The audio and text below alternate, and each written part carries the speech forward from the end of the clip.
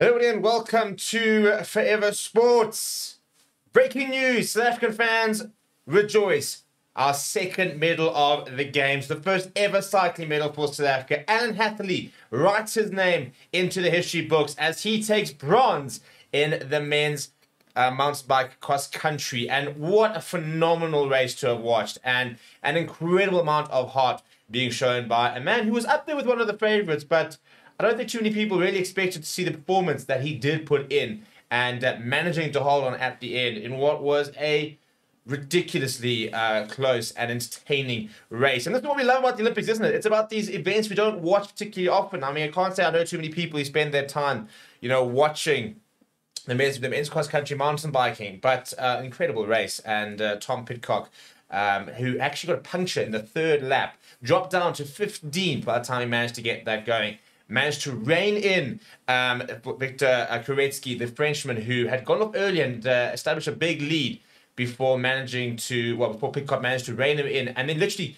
even in the last lap, I think traded position a couple of times, right up to almost the two going toe to toe, almost actually colliding. And uh, it was almost the end of things. Um, but uh, both they managed to get through it. And eventually, Thomas Pidcock came through for the gold uh, with Kuresh taking silver and Alan Hatherly taking bronze. It's already almost, uh, almost not going to guarantee, but we're already seeing a much better performance from Team SA. And uh, we're going to be going through doing basically doing a daily recapping over on Forever Sports Extra. So make sure you go and check out um, that channel. Breaking news and medal videos will be on Forever Sports. So make sure everybody gets to see it. But uh, we'll be doing a lot more sort of uh, trackers, for example, recaps, previews, that kind of thing, happening over on Forever Sports Extra. So make sure you go and check that out.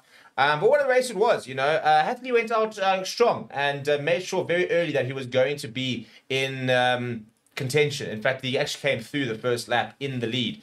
And uh, there was basically five um, sort of cyclists throughout the race um, that were there and thereabout. And uh, Hatherly at one stage uh, was a lone second when uh, Victor Koretzky decided to put the hammer down, got himself into a pretty big lead, had about a 12, 13 second lead. Um, Hatherly then managed to leave behind a couple of people, and he got himself to a solo second before a chasing group of uh, Thomas Pidcock, Luca Braidot, and Matthias um, uh, sort of stuck with them, the three. Um, uh, Thomas Pidcock left them behind. Uh, Rain and Alan Hatherly, who then did really, really well to stay with them. The two of them then reined in uh, Victor Koretzky, um, and th- it was the three of them for about a lap and a lap and a bit. And then on the final lap, um, those two, you know, uh, Koretzky, Pidcock put the hammer down, and Hatherly couldn't hang on.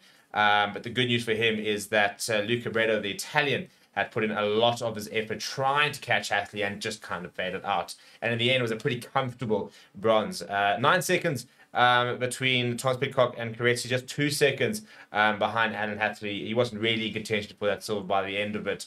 Um, but then a, a, further sort of 23 seconds between him at fourth. And uh, what an incredible story for, for a man. He's been to the Olympics before, 28 years old.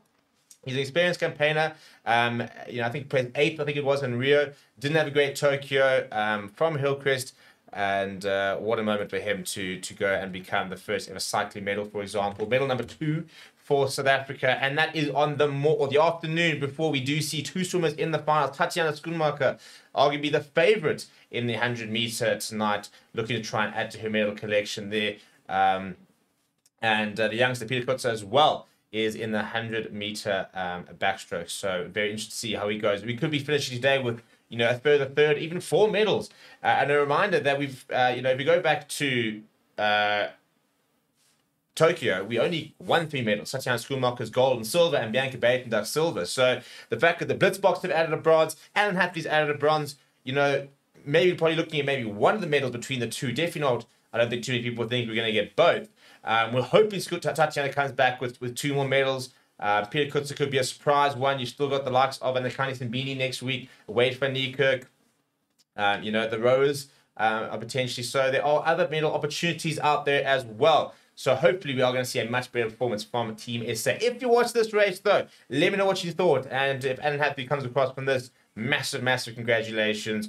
Putting South African cycling on the map and incredible to to do that. We all remember the heroic effort uh, Burry Stander um, put in all those years ago, which was the first time I'd actually ever watch uh, cross country, and um, it, it, was it was phenomenal. Um, when he you know that that, that effort. So Burry Stander, when he um, when he, when he caught up and was in contention, was so close, um, and then tragically lost his life um, about a, a, year later. So that was back in London, 2012. So incredible for somebody like him who, you know, you remember that race so well. It's such an iconic race if you did watch the Olympics. So to see now, you know, the fruits of his labor 12 years later, um, you know, we, we finally get a, a medal in the cycling. Please just smash like on the video. Please do subscribe to the channel. As I said, go check out Forever Sports Extra for more, more Olympic content. Um, but we'll be keeping you up to date with South Africans also here on Forever Sports. Um, thank you very much for watching. My name is Steve. I'll chat to you soon.